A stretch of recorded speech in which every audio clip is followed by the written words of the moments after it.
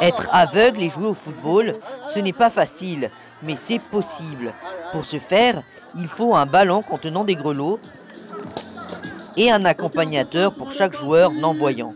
Alors bien sûr, ça reste très compliqué, autant pour les aveugles que pour ceux qui ont accepté d'être privés de la vue temporairement.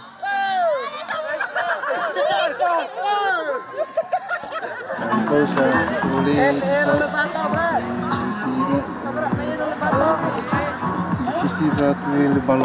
Parce que t'as écrasé quelqu'un quand même. Hein ah bon? T'as tapé sur le gars qui était tombé. C'est grave. T'as même pas vu quoi. Allez. Opération réussie pour cette journée de sensibilisation au Foot. Traduisez le football pour non-voyants. Un événement proposé à 80 personnes atteintes de handicap, dont 4 aveugles. Demain, on peut tous avoir aussi un accident et se retrouver aveugle. Comment on fait quand on est aveugle La vie ne s'arrête pas, il y a des possibilités. Et notamment au travers du football, eh bien, on peut apprendre à se mouvoir et à trouver, à, à développer ce qu'on appelle un sixième sens. La cécité n'est donc pas une fatalité. Lors des tirs au but, Véronica s'étonne de réussir les yeux fermés.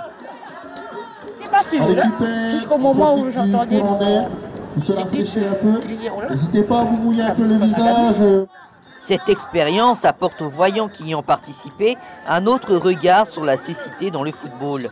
Les organisateurs espèrent qu'elle sera le début d'une réflexion plus poussée sur les difficultés que rencontrent les aveugles au quotidien. L'information en continue sur Polynésie la première, Internet et réseaux sociaux.